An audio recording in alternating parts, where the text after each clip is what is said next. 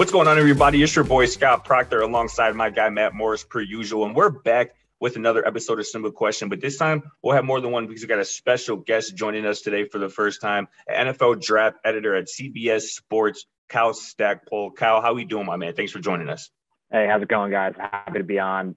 It was it was a great past three days after months and months of speculation and what we think is going to happen. It's just nice to know all where all 62 picks, who they are, where they're going, what the teams look like, and now we can move on to OTAs, mini camp, and then training camp. And the season's going to be here before we know it. So looking forward to it. No doubt about it. It's an exciting time. Uh, no doubt about it. But let's, let's dive right into things. Let's dive right into things. I want to start um, on day one of the 2022 NFL draft. What was the biggest surprise to you on day one? Obviously, whether it be you know teams trading up, trading down, uh, somebody reaching, or even you know somebody falling in that first round. What kind of took you by surprise? Something you didn't necessarily see coming beforehand prior to the first round of Thursday's draft. Yeah, so I'll touch on this one quick, just because I think it's so obvious, and it's got to be Cole Strange going to the Patriots, and you just you're like, this guy was probably going to be available in the second round, potentially even early in the third round. And all of a sudden you see him pop up at 29. And I mean, it's the Patriots and it's Bill Belichick. So you proceed with caution when you're going to call yeah. any sort of their picks a, you know, a reach or a surprise or anything like that because they just end up figuring it out. But that was a huge surprise to, I think, anyone who covered the draft closely going into it. Another one, another bonus I'll give is I think just Jermaine Johnson dropping. I think there were, he he gained so much momentum from what he did at the Senior Bowl because before the Senior Bowl he wasn't really seen at he was more seen as a back half of the first round, early second round pick. But then from the Senior Bowl on, he just gained this crazy amount of momentum that as we led up to draft week, people even had him going to the Jets at number four overall. I mean, if not four, then then in the top ten. So the fact that he fell all the way to 26 and the Jets were able to trade back into the first round and get him, I think was awesome for the Jets, but pretty surprising that he fell that far. Kyle, I want to dig in a little bit to, to the strange, the, the Cole Strange pick. Um, do you think that Belichick and kind of that front office deserves a little bit of benefit of doubt, even though, you know, Belichick is, is great, arguably the greatest coach ever. He hasn't necessarily drafted that well, but do you still he think deserves that benefited the doubt? And what do you think the Patriots brass kind of saw in Strange that you know made them pull the trigger there in the first round? Yeah, um, I think I think he does uh, earn the benefit of the doubt. I mean, he has a couple picks in the past from smaller schools. Um, Kyle yeah. Kyle Dugger not too long ago um, has turned out to be a pretty good pick. Um, I mean, I I know Belichick explained like why he picked he he, he said he, he claimed to explain why I picked him. But he really just said, oh, he was the best player on our board and, then he was available when we were picking. And even if we were picking at number 21, he probably would have been the pick. But I don't know. I just don't see any of Cole Strange's attributes being better than any one of the guys that would have been available when they picked. I think sure. you could pick any number of guys, look at uh, a couple of different areas and say, you know what, this guy would have been better. And it's just just going from that level of competition, you get that with all the small school guys, but someone in the first round going from Tennessee Chattanooga to the NFL level, it's just going to take time to to acclimate. And with some other needs that the Patriots had, it, it definitely was surprising that, that you know they went with with this pick at, at this position at 29 overall. Yeah, and actually, I want to stay in that division. Uh, Kyle, you mentioned it. Jermaine Johnson fell all the way to the Jets, and they were able to trade back in. Uh, but just looking at some of their picks between Sauce Gardner, uh, Wilson, you, and Jermaine Johnson, and then I also really like Breece Hall going there. How impressed were you with what the Jets were able to do? And and is this an, also a situation where you have to take it with a grain of salt because it's the Jets, and and even though these guys have all the potential in the world, uh, what do you think this draft class can do for the Jets? Yeah, no, I mean, obviously you're going to take any draft with a grain of salt, and and yes, it's the Jets, but – with with two first round picks, it really it really seemed like a no lose situation for them at four and ten because of the positions that they need needed and where the draft was top heavy. But even after seeing this class, I think they they really exceeded expectations with what they were able to get. To get someone like Sauce Gardner, number four, he's someone that is at a premium position and someone that the Jets have really needed. They need some, they just need a true number one guy at that spot who can really lock it down. So that was number one, getting him, and then getting Garrett Wilson, the you know, the seen as the number one receiver on a lot of people's boards, and getting him at number ten. And I know that was a popular pick for them to get for them him mocked to them. And sometimes a popular pick it just doesn't turn out that way, and teams decide to you know go off the beaten path and select other guys. So the, to get those two guys first, and then to trade back and get Johnson was just the, the icing on the cake. And I agree with you. I like the Breece Hall pick as well. It, it I didn't see it coming just because you know, Michael Carter did play well last year, but I think you have to credit Joe Douglas and the coaching staff for realizing this is a guy that we really like, and we think that we can uh, change our running back room, which is you know average, maybe a little above average if Michael Carter was was good this year, and just make it into a strength with both of them on the field, um, and both of them getting run. So I think what they basically, if you just ended after those first four picks, you consider it a, a huge success for the Jets, and I think that their fans deserve it after everything they've been through. It seems like they're putting all the pieces around Zach Wilson to be successful, and it's either he's going to sink or he's going to swim. If he swims, great. If he sinks, then there's a lot of quarterbacks next year who the Jets can go after. But I think they did everything they could in this draft to set the team up for success in the future. Yeah, I think that was priority number one for the Jets, is insulating and building around Zach Wilson, giving him weapons and, you know, kind of just just protecting him and making sure he makes a leap in year two. And they did that. I don't think anybody was a bigger winner in this draft than the Jets uh, and the Ravens as well. I would throw in there as well, getting the best safety and Kyle Hamilton, the best center, uh, and Linderbaum from Iowa. I think they did a hell of a job even getting uh, Ojabo as well. But um, I want to talk a little bit about the quarterbacks um, in terms of which quarterback do you think kind of landed in the best spot? I want to exclude Kenny Pickett from this discussion because I think that's the easy answer. I think you know him being back in Pittsburgh, being uh, he's going to be coach. He's going to be well coached team with obviously Mike Tomlin. They're going to have a good defense. They're going to have weapons for him to throw to and hand the ball off to. But you know, talking specifically about the third round quarterbacks, um, Desmond Ridder, Matt Corral, uh, Malik Willis as well. Which one of those three guys do you think is kind of set up the best uh, moving forward here at the quarterback position? Yeah, I would probably say Malik Willis. Um, I just think, and I think a reason that he dropped, and and, and some of these other quarterbacks dropped, is when you draft a QB that high. If you draft a QB in the first round, it basically starts the clock of okay, when is he going to play? Mm-hmm. And if if your quarterback isn't performing at an awesome level, then there's going to be calls to get this rookie quarterback in there because you've drafted so high. But I think as you go down the board and you go down to second round, you go down to a third round pick, there isn't that same call from the fan bases to get this guy out there because, oh, he's a third round pick. Let's give him time to develop. And the Titans know that he they can sit him basically as long as they want and let him come along at his own pace.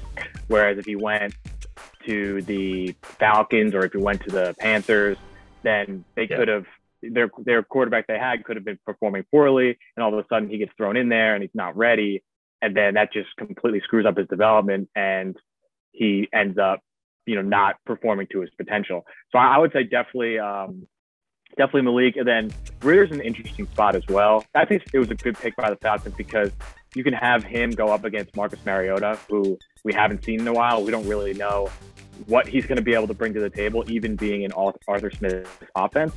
But you have them compete, and if Ridder's starting, then that means he beat out Mariota. He's playing pretty well, and you see what happens rookie year. Maybe you have something, and if Mariota wins a job, then he's probably playing decently, and you can let Ridder learn behind him and, and not have to rush. And then you go into 2023 with you know Drake London. You, know, you hope Calvin Ridley comes back, Kyle Pitts, yeah, and all of a sudden you're set up to have a, a really solid offense as long as one of those quarterbacks becomes the guy. So I think those two guys, it would be in my order, it would be Malik Willis, Ridder, and then Matt Corral, because I just think the Panthers just don't really know what they're doing at the quarterback position. I could see them going with, they'll, they'll probably go with Sam Darnold. I mean, Ben McAdoo basically flipped that Sam Darnold's going to be the starting QB. Right. Um, right. And then, if, but then if he struggles, I could see them throwing Corral in there before he's ready. And then the Panthers are back in this position next year where they don't know what they're doing, and they gave up a third round pick next year just to move up and get Corral.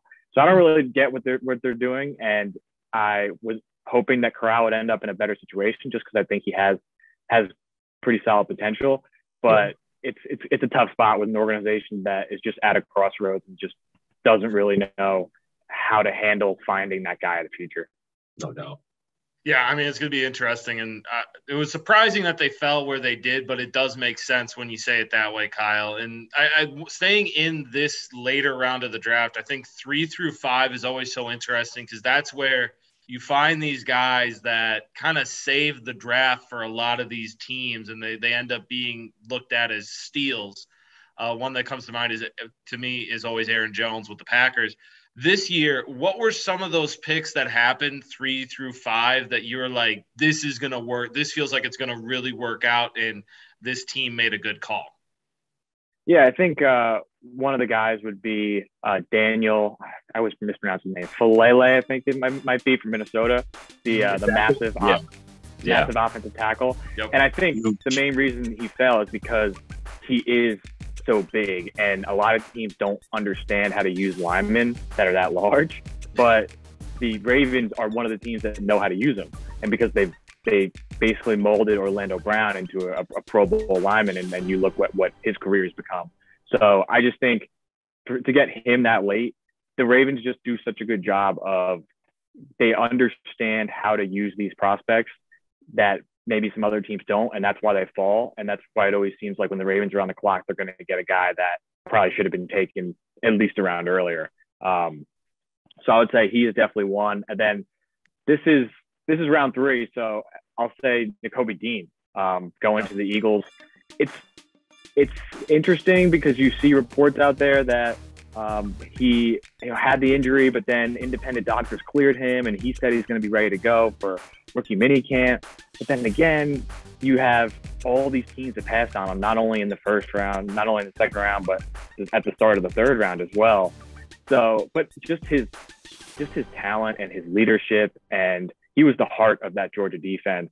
And Georgia's defense is interesting because there were so many. It was historically great, but there were so many players drafted, and you have to think that at least a couple of those players are going to turn out to be the benefit of those the guys around them. Yeah, eh, some guys are going to be okay. They were the best players on the defense, and it's going to show in the NFL. And the other people were going to be byproducts of, of their peers, and they're not going to be as good. But I think Nakobe Dean has the intangibles, has the instincts. He might be undersized, but I just think, especially now too, he's going to have that chip on his shoulder of all these teams passing on him because of an injury history. And I think it was his stature combined with the with the injury was something that teams just wanted to stay away from. But I don't know. I think he's going to be a, a really solid player in the middle of that defense and someone that uh, the the Eagles really needed at the second level. Kyle, I know a lot of Packer fans are probably really hoping that they picked the uh, the guys that were the difference makers on that defense instead of the byproducts of it. Um, so that I mean, it's going to be interesting to see, like you said. I love both those answers, Kyle. I already mentioned earlier that I thought the Ravens did a hell of a job drafting, and I think yeah, the Eagles getting Jordan Davis and Nakobe Dean, which I think were the two heartbeats of that Georgia defense, you know, both in Philly, I think is, is going to be a, a, massive, a massive plus for their defense moving forward. Probably last question we got for you, Kyle, before we let you get up out of here. We know you and, and your guys at CBS Sports have already done the groundwork, the legwork on the 2023 NFL draft. So give us a little preview of that. Who do you, who do you see going at the top number one of next year's draft, and what do you kind of see the, the top couple prospects at top five kind of shaping out to look like? Yeah, when you talk about the, the quarterback position, it's just totally it's polar opposites because this year mm-hmm. you saw what happened. It was a historic draft in terms of guys not being drafted high, and then you have going into next year, you already have three or four guys that are being looked at as top 15, top 10, like top 10 picks potentially number one overall when you talk about Ohio State's C.J. Stroud, Bryce Young. You have uh, Will Levis um, from you know Kentucky who transferred uh, to Pittsburgh. So just those three guys, and then even a guy from Boston College, I think is Phil Jurkovec. Um, so that all the guys that stayed in school and and the young guys that are coming up, it's it's going to be really fun next year to see where first of all how they perform in the fall because as we know with Sam Howell and yeah. uh, Spencer Rattler being the top two picks at this time last season. You know how that turns out. Yeah. But I think there's a couple of these guys that are just foolproof. I think Stroud is, is going to be a high pick. I think Bryce Young's going to be a high pick. I think Will Anderson could be. Uh, I think he talent wise, and he's the best out of all of them. And I mm. think that if if QB wasn't such a valued position, then you could pencil him as him in as a number one pick right now. And I think you could have penciled him in as a number one pick this past year. That's how good he was and how good he is.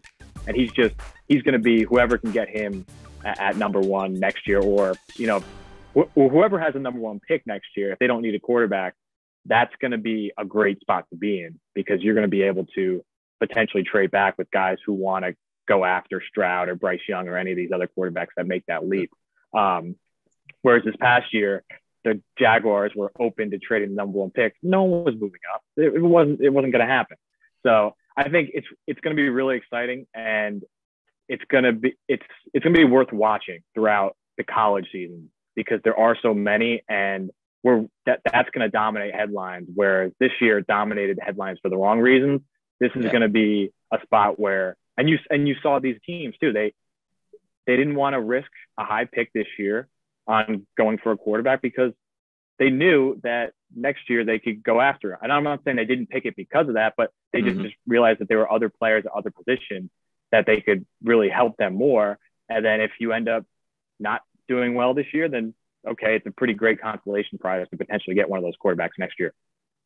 Yeah, that makes a lot of sense. I think it's going to be fascinating to see how how this kind of works out, particularly in the fall. And this year was a perfect example. I think Sam Howell before before last fall would have been a, a surefire top 10ish pick. And you mentioned Spencer Rattler was up there, and we know what, where Rattler's deal now is at this point.